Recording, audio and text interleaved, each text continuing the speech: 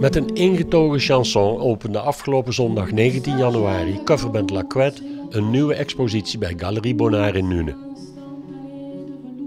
Met de expositie Buiten in Beeld kiezen galeriehouders David van der Linden en René Renders voor drie landschap- en natuurschilders en voor een bijzondere beeldhouwer.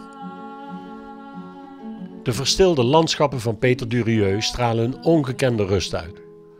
Durieux maakt meerdere potloodtekeningen en plein air voordat hij die in zijn atelier vertaalt in een schilderij. Inmiddels maken ook zijn tekeningen terecht deel uit van zijn uitgebreide oeuvre. Helaas kon Peter Durieux door ziekte zelf niet aanwezig zijn bij de opening. Hilda Snoeier maakt houtskooltekeningen van landschappen, bomen en dieren met een bijna fotografische detaillering. Zij vindt haar inspiratie onder andere in de landschappen van Spanje en Zweden. Nou, ze zijn heel erg verlaten en dat vind ik het allermooiste. Dat zei David net ook al, de mens is er niet. Ze zijn heel stil.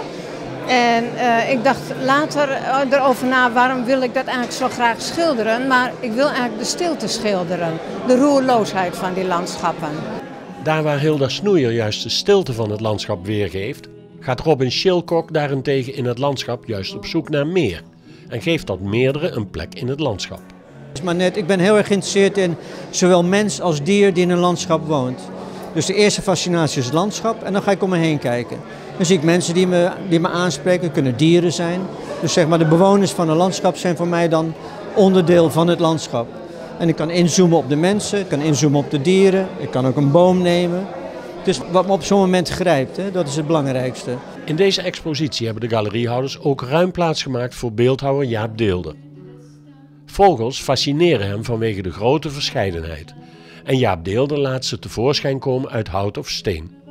Zijn werk laat geen ruimte voor vrije interpretatie.